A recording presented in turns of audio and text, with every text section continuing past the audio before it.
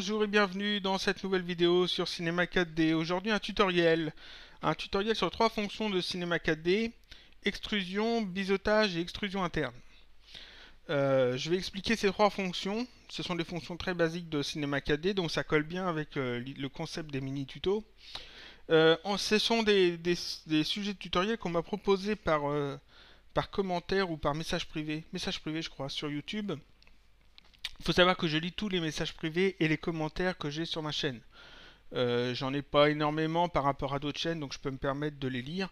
J'y réponds tant que je, le peux. Euh, des fois, je mets un peu de temps à répondre, faut être patient, mais j'y réponds et je lis tout. Je lis tout et je prends note de toutes les remarques qu'on peut me faire, et puis euh, euh, voilà. Euh, donc euh, ces trois fonctions de Cinema 4D, donc extrusion, biseautage, extrusion interne, ce sont des fonctions qui sont quand même assez importantes et puis on les utilisera beaucoup quand on modélisera des choses plus compliquées. Donc c'est bien de les aborder maintenant. ce sont des fonctions très basiques, très simples à utiliser. Donc on va les voir tout de suite. Pour ça, je vais, je vais utiliser Cinema 4D 11.5, mais ça fonctionne aussi sur Cinema 4D 12 et Cinema 4D 13. La seule différence, c'est qu'avec Cinema 4D version 13, euh, il y a quelques raccourcis qui changent. Par exemple, dans la version 11.5 et 12, vous pouvez obtenir avec la touche V le menu contextuel que voilà. Là. Structure, fonction, etc. Et dans structure, ici, on a biseauté, extrusion, extrusion interne. Dans Cinema 4D 13, ce menu euh, contextuel euh, avec la touche V est différent.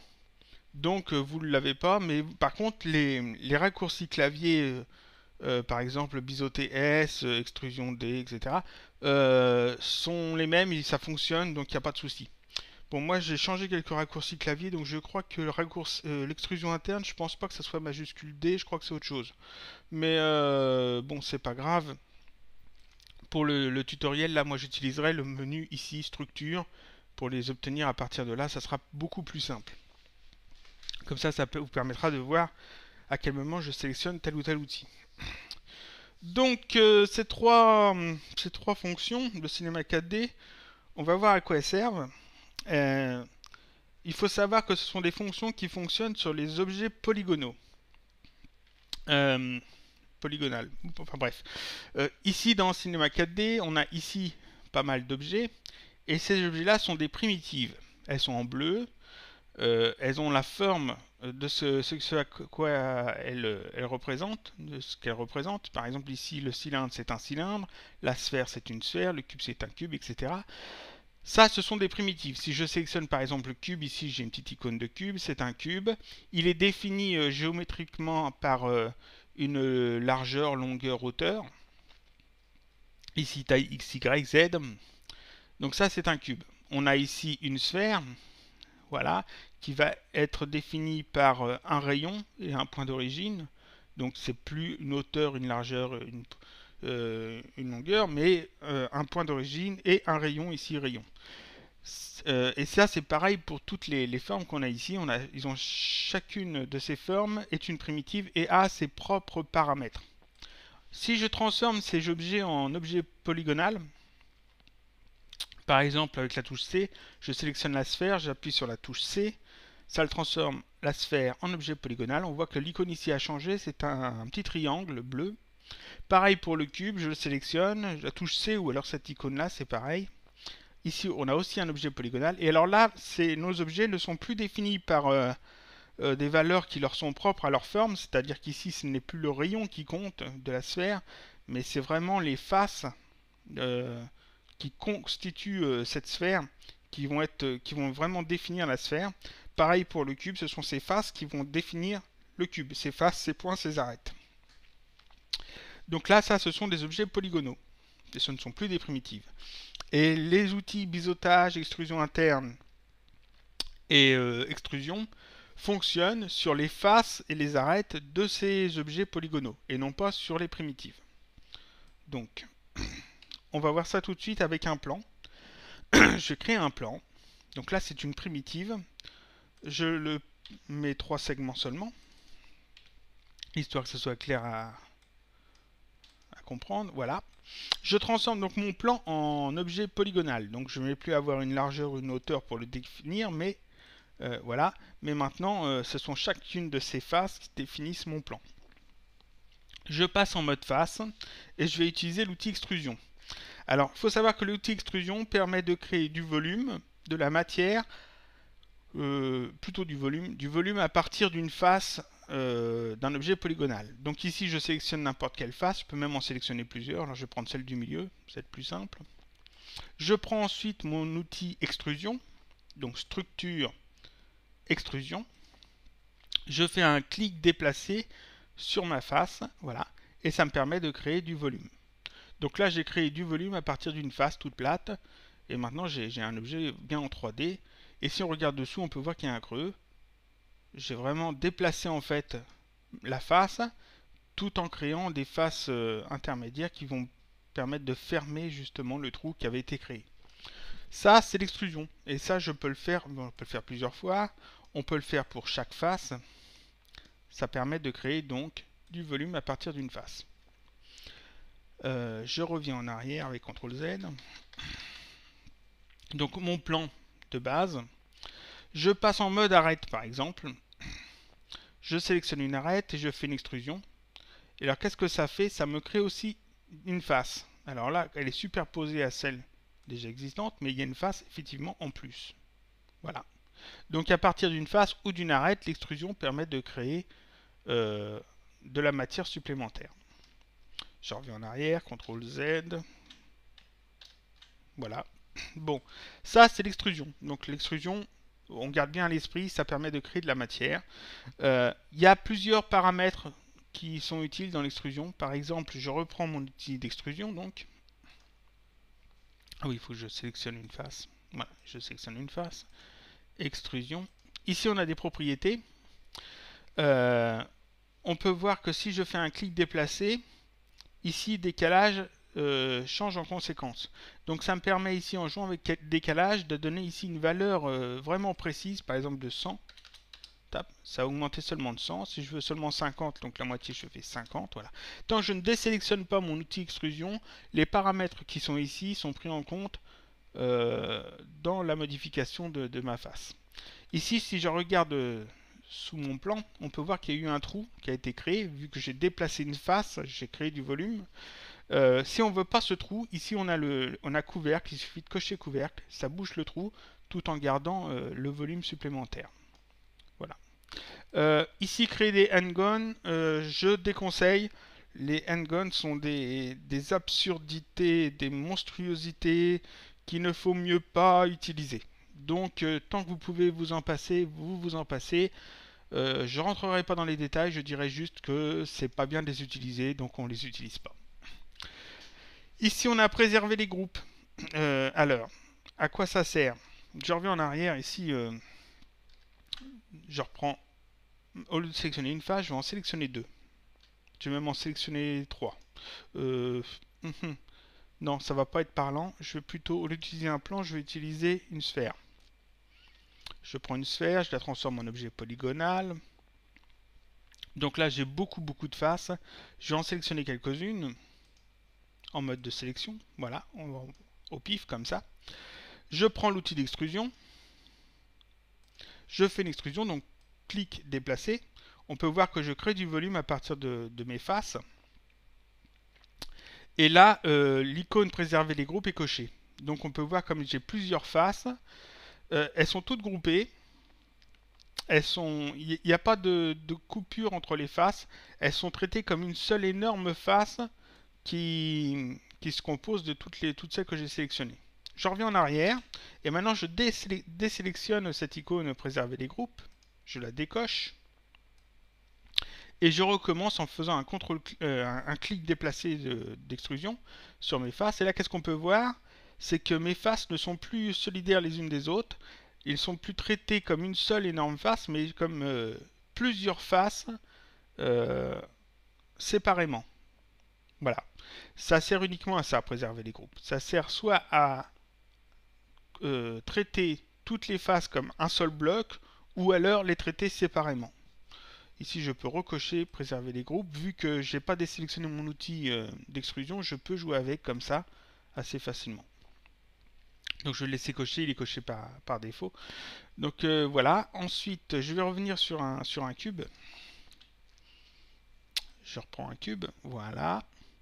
En objet polygonal, voilà. Maintenant, imaginons que je sélectionne euh, ces deux, ces deux faces-là. Et qu'avec mon outil extrusion, je fais une extrusion. Voilà. Euh, on peut voir que... je, vais bien resélectionner l'outil extrusion pour avoir les propriétés. Voilà. Clic déplacer. Donc on peut voir qu'ici, euh, j'ai les deux faces séparées. Pourtant, préserver les groupes est bien sélectionné. Il est bien coché. Et pourtant, ici, il me, traite mes deux faces comme si c'était deux faces séparées et non pas un seul bloc. Alors que ils sont bien reliés l'une à l'autre. Alors pourquoi ça fait ça? C'est parce que ici l'angle maximum est à 89 degrés. Et ici j'ai un cube avec des angles à 90 degrés. Donc euh, ici, en fait, c'est la tolérance justement entre les, angles. Si je mets ici par exemple 91 degrés, le 90 degrés est compris dans la tolérance. Et là, si je fais un clic déplacé, j'ai effectivement euh, mes deux faces qui sont traitées comme une seule. Voilà, ça c'est un petit truc à, connaître en plus. Euh, mais par défaut, donc c'est 89. Voilà. Donc euh, ça c'est l'outil extrusion, il euh, n'y a pas vraiment d'autres choses à connaître sur l'outil extrusion. Euh, il est très pratique pour modéliser des formes assez rapidement, voilà. Donc je reviens sur un, plan. Un plan, trois segments, en outil polygonal, voilà. Je resélectionne, on va dire, la face du milieu. Voilà. Maintenant, imaginons que J'aimerais créer ici une extrusion, mais euh,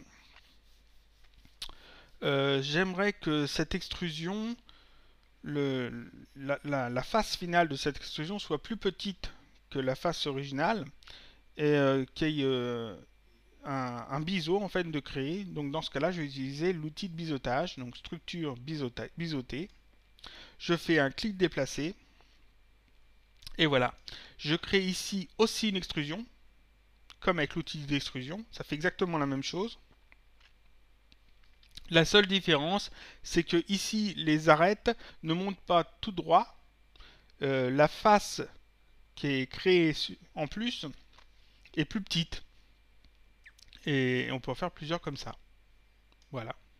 Et on peut faire ça sur toutes les faces qu'on veut. Comme pour l'outil d'extrusion, il n'y a pas de souci. On peut même faire des faces comme, euh, si je me trompe pas, non, ça marchera pas. Voilà, comme ça. Euh, donc on peut, on peut s'amuser comme ça à modéliser pas mal de choses. L'outil biseautage fait exactement la même chose qu'une extrusion, mais avec en plus un biseau. C'est tout bête, c'est tout simple, euh, ça sert à quasiment rien d'autre. si je sélectionne, je, prends je vais prendre un cube, objet polygonal. Si je prends une arête, je passe en mode arête, je sélectionne une arête, je prends mon outil biseauté. Voilà, si ici je fais un, biseau sur mon arête, ce que ça va faire, ça va simplement créer une face supplémentaire, c'est-à-dire une, arête supplémentaire qui va donc créer une face qui va arrondir l'angle. Voilà, on peut faire ça comme ça plusieurs fois pour avoir plusieurs euh, arrondis, plus ou moins contrôlés sur des formes, euh, euh, des formes complexes. Donc ça c'est l'outil biseautage, ça sert à rien d'autre. Euh, c'est très pratique quand on veut faire des arrondis ou ce genre de choses. c'est un outil tout bête. Je reprends mon plan. Mon plan, ici, pareil, je vais mettre 3, 3 aussi. Objet polygonal, je repasse en mode face. Maintenant, imaginons que ici, euh, dans cette face-là, par exemple, j'aimerais avoir euh, une face supplémentaire à l'intérieur. C'est-à-dire que j'aimerais sectionner euh, cette face, la, décomposer en plusieurs morceaux, afin d'avoir une face à, l'intérieur plus petite. Parce que, imaginons que si je fais une extrusion ici, extrusion, je vais avoir vraiment la face extrudée à la, verticale et rattaché aux autres. Si je fais un biseautage, je vais avoir justement ce biseau et là, ça pourrait être intéressant vu de haut, mais euh, vu de côté, ça colle pas. Euh, pop, pop, pop, oui, c'est ça. Donc, ce que je vais faire, je vais utiliser l'outil d'extrusion interne. Donc, structure extrusion interne. Voilà, on voit la petite icône de l'extrusion interne qui, est assez parlante. En fait, ça permet de créer à l'intérieur d'une face une face identique mais plus petite. Donc, si je fais un clic déplacé, voilà, je crée à l'intérieur de ma face, sélectionner une face identique mais, mais plus petite. Alors je peux sélectionner plusieurs faces. Voilà. Et faire une extrusion interne. Je peux par exemple aussi euh, en sélectionner des moins régulières comme ça et faire aussi une extrusion interne. Et ça, ça fonctionne pour tout. Donc l'extrusion interne, voilà, ça sert juste à ça, à créer donc euh, des faces supplémentaires à l'intérieur d'une autre face. Ces trois outils-là, on va s'en servir maintenant pour créer un petit objet tout bête, une simple boîte. Comme ça, ça montrera à peu près euh, ce qu'on peut faire avec. Donc, euh, pour faire une boîte, voilà ce que je vais faire. Je vais partir d'un cube. Pour, beaucoup de choses en, modélisation, on part de cubes ou de primitives simples.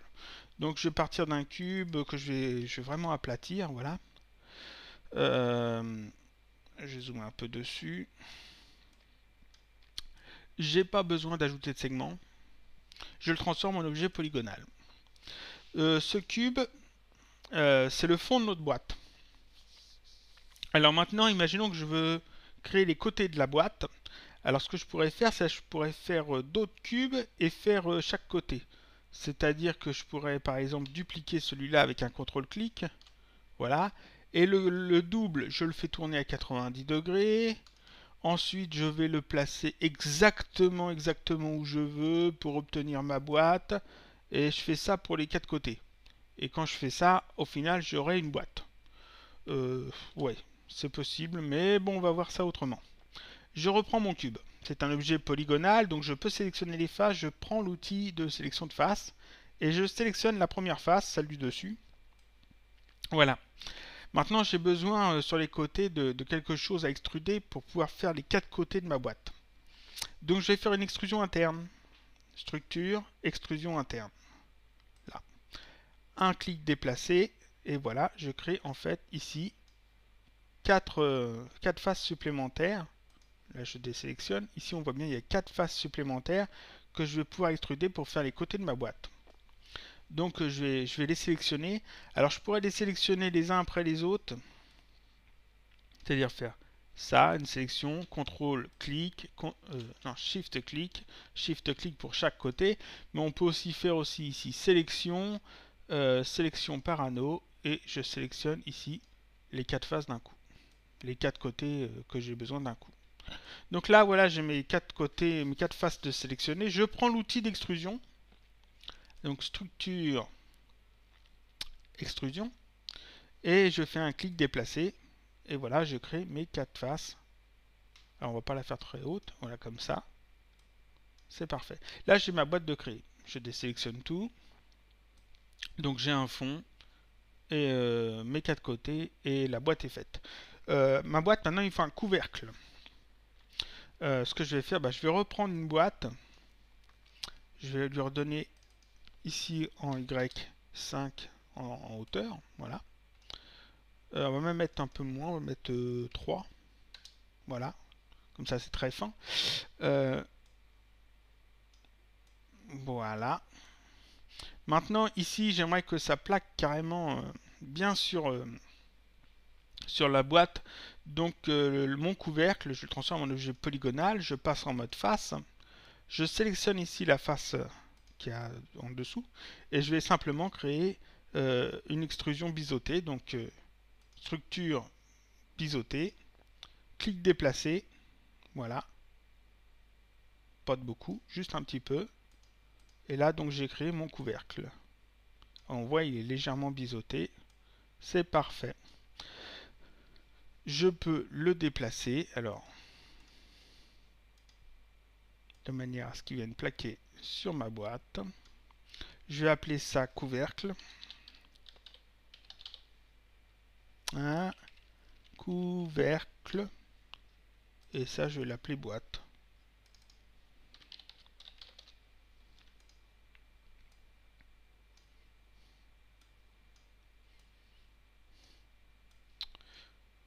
Voilà. Donc là, j'ai créé ma boîte. Alors, mon couvercle, pour que ça soit bien, je vais déplacer son axe ici. Je passe en mode axe et euh, je vais déplacer son axe euh, de pivot sur le côté. Alors, ce que je vais faire, on zoome comme ça. Ici, je le déplace. On va mettre ça là. Je repasse en mode objet. Je reviens en vue normale. Comme ça, ici, maintenant, si je fais euh, une rotation, la boîte s'ouvre correctement. Donc voilà, euh, là on a utilisé les trois objets pour créer euh, un petit objet tout simple. Alors c'est vraiment, bête, hein. euh, mais ça montre en fait à quoi et comment on peut utiliser ces trois fonctions, extrusion, extrusion interne et biseauté. Alors là, j'ai créé quelque chose de très basique, mais en fait, n'importe quoi que vous allez modéliser dans Cinema 4D, vous utiliserez à un moment ou à un autre l'extrusion, l'extrusion interne et le biseautage. C'est quasiment évident. Euh, ça sert tout le temps. Donc euh, ça c'était une petite vidéo, mini tutoriel sur Cinema 4D. Merci d'avoir suivi. Euh, la prochaine fois je parlerai d'autres fonctions basiques aussi sans doute parce que en fait je reviens un peu sur les bases de Cinema 4D pour qu'on puisse ensuite entamer des modélisations plus complexes. Parce que dans les commentaires et les. Non, dans les messages privés sur YouTube, euh, j'ai eu pas mal de sujets de tutoriels. Et il y en a qui sont assez costauds. Et bon, et pour, pour les aborder, il faut quand même que l'on voie d'abord les bases de Cinéma 4D. Par exemple, on m'a proposé comme sujet la modélisation et l'animation de personnages. Alors moi j'ai très envie de le faire, mais seulement si je passe à ça tout de suite, euh, il y a beaucoup de gens qui vont être perdus parmi les abonnés, qui n'arriveront pas à suivre parce que j'utiliserai des fonctions qui sont plus complexes que, juste celle-là. Euh, donc il faut d'abord voir toutes ces fonctions euh, basiques de Cinema 4D pour ensuite euh, sereinement passer à des choses plus complexes. Donc, donc la prochaine fois, je parlerai sans doute aussi de, fonctions assez basiques de Cinema 4D. Et puis comme ça, petit à petit, on va, on va avancer dans le, dans le, dans le logiciel et on pourra passer à des choses plus intéressantes et plus complexes. Voilà, merci d'avoir suivi, donc euh, à bientôt pour un prochain tutoriel.